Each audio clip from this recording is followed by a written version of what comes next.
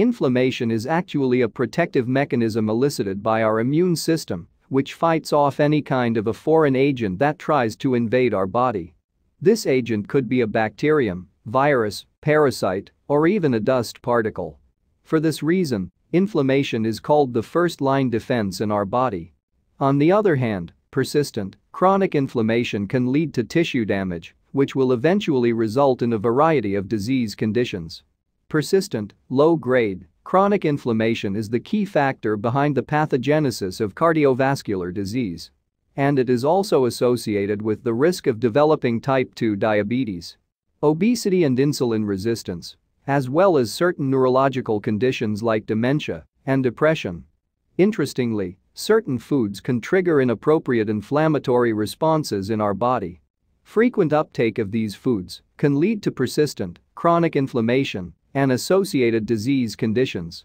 So, in this video we are going to look at 6 types of foods that can trigger inflammation in our body.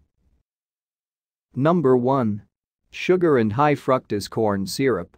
These two ingredients are the major types of added sugar in Western diet. One sugar molecule is made up of one glucose and one fructose molecule. Our intestine absorbs glucose and fructose separately into the body this fructose content is the major culprit behind inflammation. Fructose can be metabolized only by the liver. So, when the fructose content in the body is too high and liver cannot handle this, some of this fructose is converted to free fatty acids. The metabolic products of free fatty acids are found to play a role in triggering inappropriate inflammation in the body. Some of the foods that have a high sugar content include sugar-sweetened beverages, chocolates, donuts, cookies, and certain types of cereals. Number 2. Foods high in trans fat. Artificial trans fats are likely the unhealthiest fats you can eat.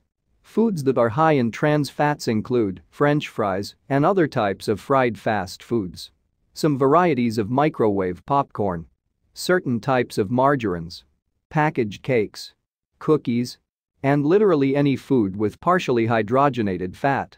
Unlike naturally occurring trans fats that are found in dairy products and meat, artificial trans fats have been shown to cause inflammation and increase the disease risk. Consumption of artificial trans fats is linked to high levels of inflammatory markers, such as C-reactive protein. Trans fats also reduce the amount of HDL cholesterol, which is the good type of cholesterol in our blood. In addition, trans fats may impair the function of endothelial cells that line the blood vessels, which is a risk factor for heart disease. Number 3. Foods high in omega-6 fatty acids. Omega-6 fatty acids are essential for the normal growth and development. However, excessive intake of these fatty acids will induce inappropriate inflammation in our body. Some of the foods that are high in omega-6 fatty acids include canola oil, corn oil, mayonnaise, and sunflower oil. Number 4. Refined carbohydrates. Refined carbohydrates are commonly found in candy, bread, pastries, cookies, sugary beverages, pasta, cake, and certain types of cereals. The problem of refined carbs is that they are produced by removing most of their fiber content. So, they have a high glycemic index. We know that foods with a high glycemic index can raise blood glucose levels more rapidly than other foods. Therefore, these foods can drastically promote inflammation. Number 5. Processed meat. Consumption of processed meat is associated with an increased risk of heart disease, type 2 diabetes, and stomach and colon cancer. Common types of processed meat include sausages, bacon, ham, and smoked meat. And beef jerky.